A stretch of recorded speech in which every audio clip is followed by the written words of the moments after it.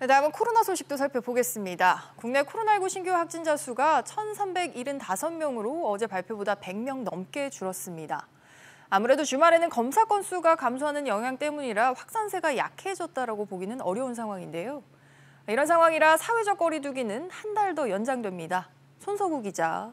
네, 손석우입니다. 네, 거리두기가 한 달간 다시 연장이 됐습니다. 방역 수칙을 보니까 좀 이전과는 달라지는 부분들이 많더라고요. 네, 우선 수도권은 4단계, 비수도권 3단계 거리두기 단계는 기존대로 유지됩니다. 이런 가운데 식당과 카페 등 다중 이용 시설의 영업 시간은 밤 9시에서 밤 10시로 다시 1시간 연장됩니다. 이와 함께 사적 모임 이런 제한도 늘어나는데요. 수도권 지역에서는 백신 접종 완료자 4명을 포함해 최대 6명까지, 비수도권에서는 최대 8명까지 모임 가능 인원이 늘어납니다. 결혼식과 장례식은 친족 구분 없이 49명까지 허용하되 식사 제공이 없는 결혼식은 최대 99명까지 참석하는 인원이 확대됩니다. 음, 이런 가운데 추석 연휴 기간 동안에는 이런 방역 수칙이 조금 더 완화되는 거죠? 네, 추석 특별 방역 대책은 13일부터 26일까지 2주간 시행되는데요. 이 추석 연휴를 포함한 전후 일주일간인 9월 17일부터 23일까지는 거리두기 4단계 지역에서도 백신 접종 완료자 4명을 포함해 최대 8명까지 모일 수 있습니다.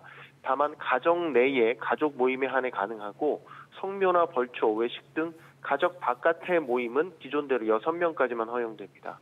이 특별 방역 대책 2주간은 요양병원과 시설은 방문 면회가 허용되는데요. 어, 이번 환자와 면회객 모두 예방 접종 완료자라면 접촉 면회가 가능하고 아니라면 비접촉 면회만 가능합니다. 뭐 추석 연휴 기간 동안에도 가정 안에 가정 내 모임에서만 예, 한해서만 최대 8명까지 모일 수 있다는 점이 또 핵심일 것 같습니다. 거리두기 한 달 연장 후에는 이른바 with 코로나, 코로나와 함께하는 시대로 전환하는 그런 방안이 검토되고 있다고 하죠. 네, with 코로나는 일상생활 속 방역을 뜻하는데요. 정부는 이번 한 달간의 거리두기 이후에 일상생활로 돌아가는 with 코로나 전략을 단계적으로 실행하겠다는 계획을 밝혔습니다. 물론 코로나19 확산세가 잡히고 통제 가능한 수준으로 안정화된다는 것을 전제로 하고 있습니다.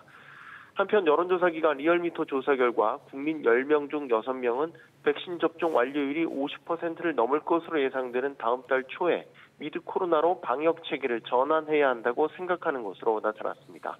SBS 비즈 손석우입니다.